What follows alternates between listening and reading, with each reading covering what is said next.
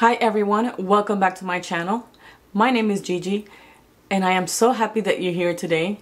And in today's video, I'm going to be setting up my finances planner for 2024.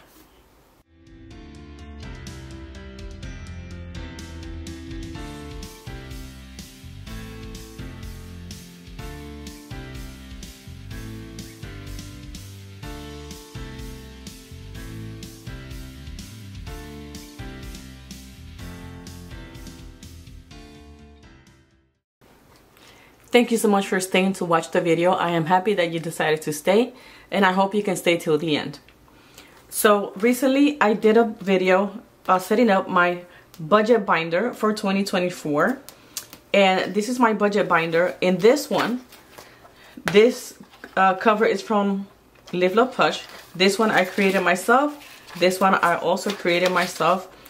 And this one I also created myself inspired from the Organized Money.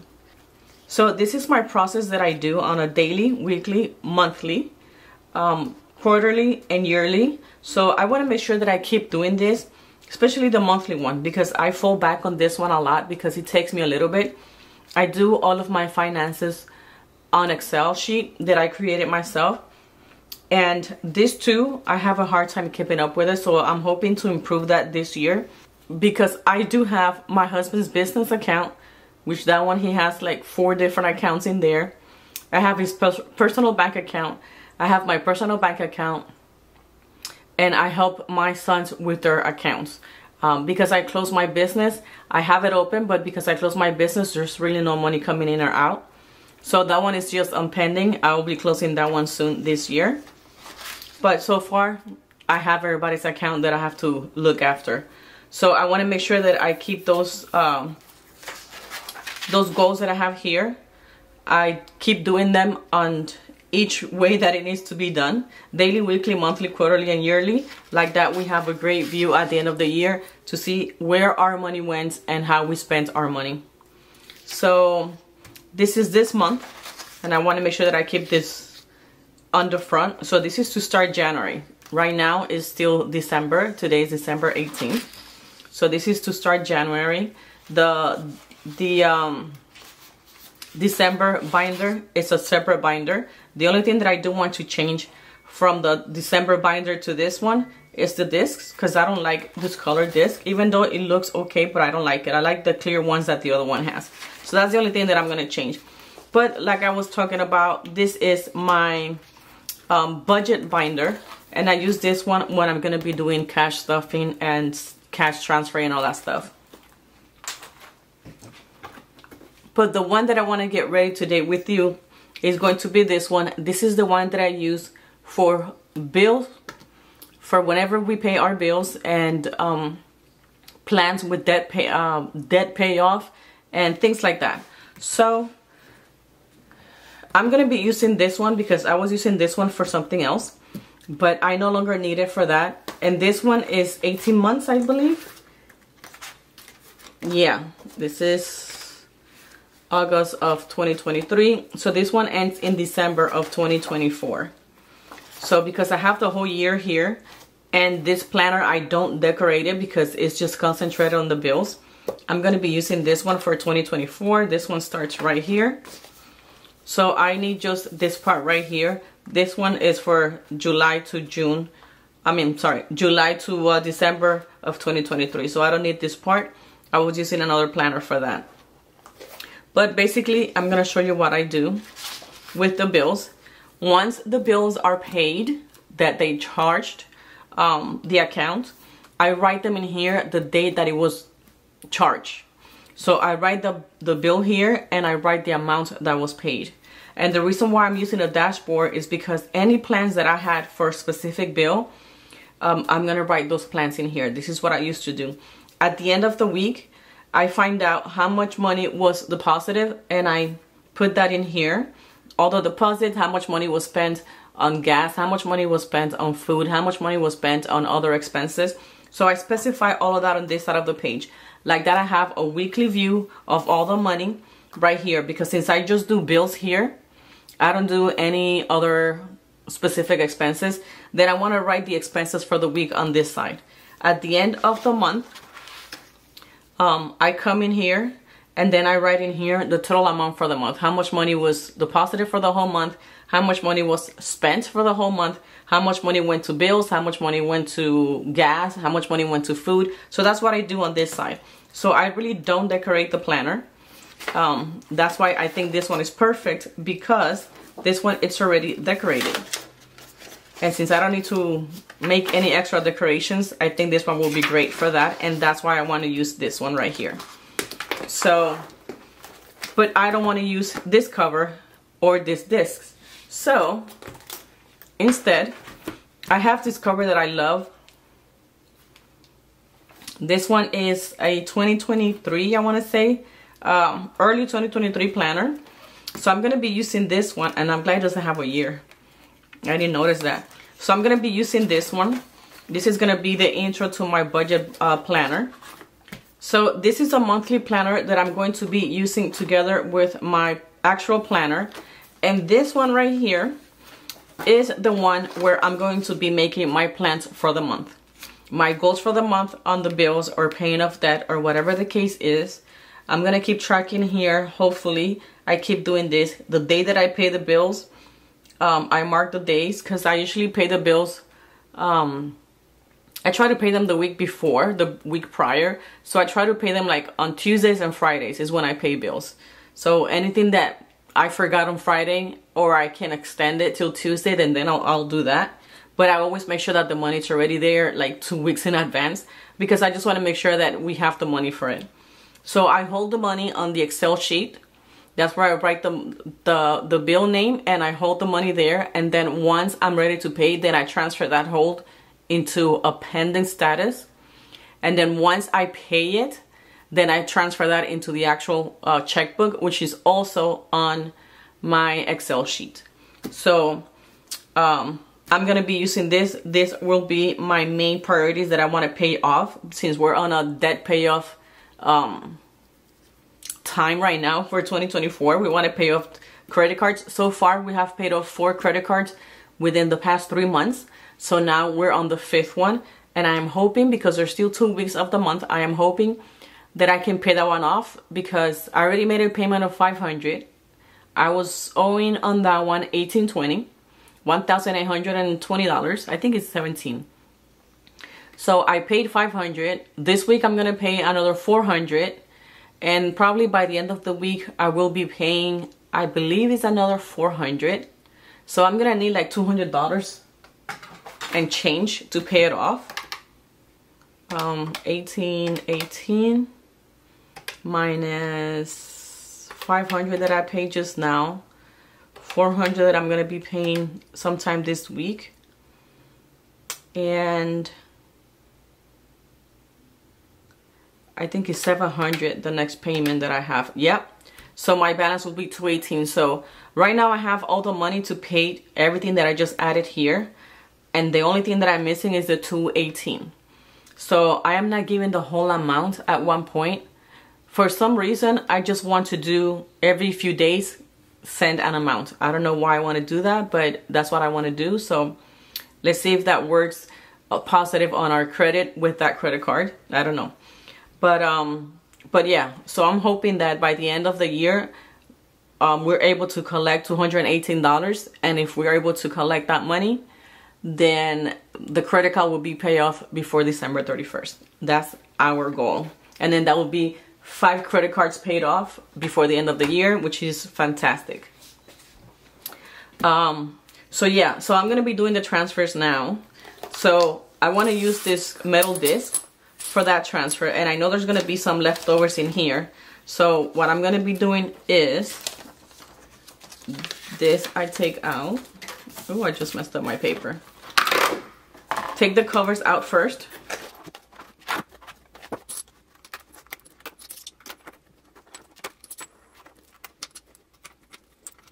So this way the the planner stays uh, sturdy and I can actually add what I need to add. So I'm going to be adding from both of them. From this one, I'm just going to keep the cover. And then the first thing that I want to add is actually the monthly for January. Right. and then I'm going to add the uh, monthly here for my dashboard let me remove this out of the way so it's easier to grab it.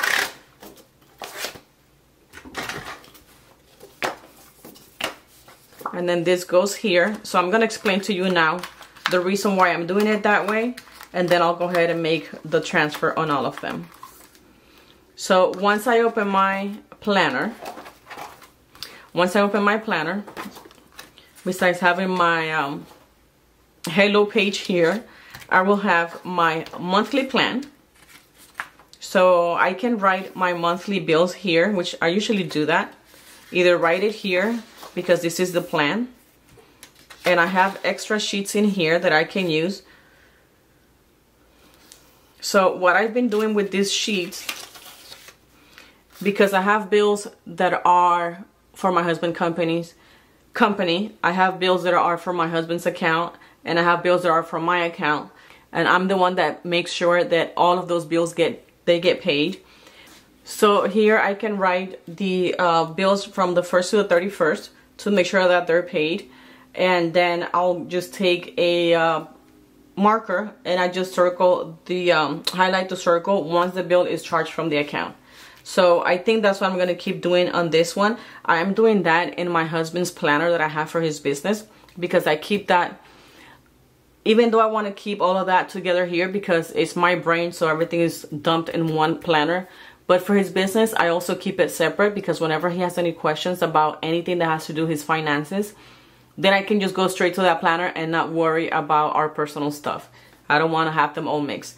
Like that when I do the weekly um, view, like I mentioned to you before, I actually have a weekly view just for the business and then I have a weekly view overall. Um, so that's how I plan to use this ones right here. Usually I don't use these pages, but I just keep them here um, and then I'm moving to the actual planner itself for the month and like I mentioned here I write the bills that were um, charged to the account and then here I do a view of the monthly expenses that were done for that week and I do it in detail by category. Usually what I used to do in the past because I didn't want to keep writing everything over and over, I actually have it on an Excel sheet.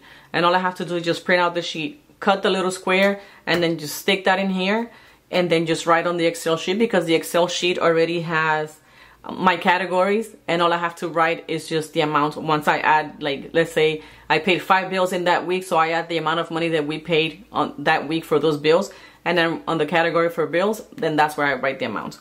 So I think I'm gonna continue doing that for this year. I was doing it last year and then I just stopped doing it for whatever reason. And that's what I mean when I want to keep track of everything and, and, and catch myself to keep doing everything that I was doing before because it was working great. I was able to just open one page and see what happened the entire month without searching for anything. So I want to be able to do that again. So that's my goal for 2024. So let me go ahead and transfer everything here as much as I can because it's a whole year and it's two planners and I think it's going to be too tight. So I think I might have to do like six months at a time, but we'll see. For now, I'm going to go ahead and continue doing um, planning, not planning, sorry, transferring the, uh, the monthly and then the actual planner itself for that month.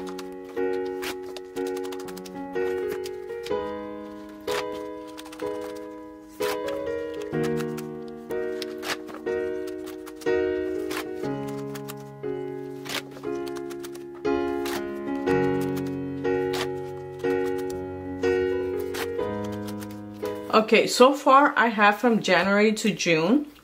So I think I'm gonna leave it like that, so like that is not too thick. I mean, I still have space, but I think I'm gonna leave it like that and just do the six months at a time. And then I'll save this for the summertime and then I'll change it again in the summer. So again, this is the cover that I'm going to be using for my finances planner.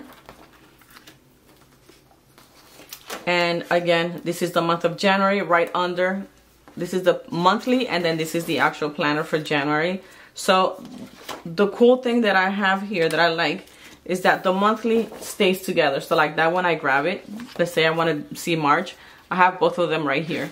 So I can look at the monthly and then look at my um, actual planner here. So I do want to mark right here. This is my first week. I'm gonna go ahead and remove this already because it's looking ugly and remove the word notes because this is not notes anymore. And for now, I'm gonna keep using this one right here, this divider or this bookmark because it's clear so I can see everything if I need to and you know so I think that's all I want to do here. And I like how comfortable it is to move. The only thing that I'm not sure if I want to do I would like to but I don't really have the need because it's very bulky.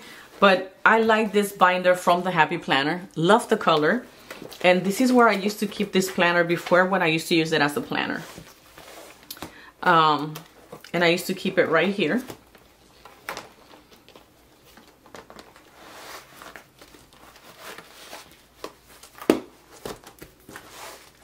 And I love the fact that I can just save stuff in here, like receipts and stuff. Um, I gotta clean it up. But I can save uh, receipts and stuff in here, any papers, because this is just money stuff. Bills I can just save here if anything's pending.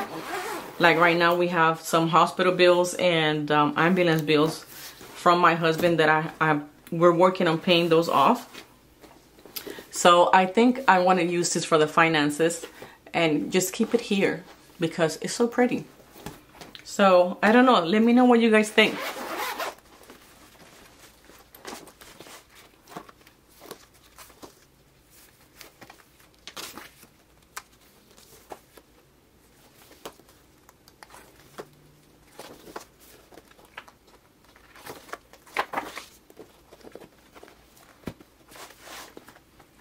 I do want to make sure that I use the same pen all the time, which actually for now because I think I might keep it here. I'm not sure.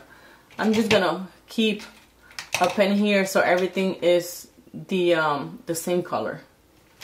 Um, I think I'll use this one for now. This is such a small pen. But I think I'll use that one for now. I think it's too bright, but I'll keep it like that for now. So this is gonna be my finances uh, budget planner or finances I don't know. Whatever name I put it in the uh, in the subject for the video that's gonna be the name of this planner. So I hope you guys liked and enjoyed this video. I hope you are able to get ideas from this planner from this video from this setup. Let me know if you're able to get ideas to set up your stuff. Also let me know if you have any questions um, on anything that you want to do and you're thinking of different things or you're not sure what to do and I can give you ideas. I love doing these finances trackers. I love doing Excel sheets. So if you need any assistance, just so I can give you ideas, not tell you what to do because you can you're the only one that can make decisions on that. But I can give you ideas on what to do to keep track of your bills and to be able to pay off your debt. Um, hopefully I'm able to give you a total amount of the debt that we paid off once I pay this one off, that's my goal. Once I pay this one off, I'll give you guys um, an update on how much money we paid off on those five credit cards before the end of the year. This is gonna be all for this video. I hope you guys liked and enjoyed it. If you did, don't forget to give me a thumbs up. That really helps me out a lot, especially when I have people just coming into the video, pressing thumbs down and leaving. So you giving me a thumbs up that would really help me out a lot. And thank you so much for staying till the end. And I will see you guys on my next video. Hasta pronto. Adios.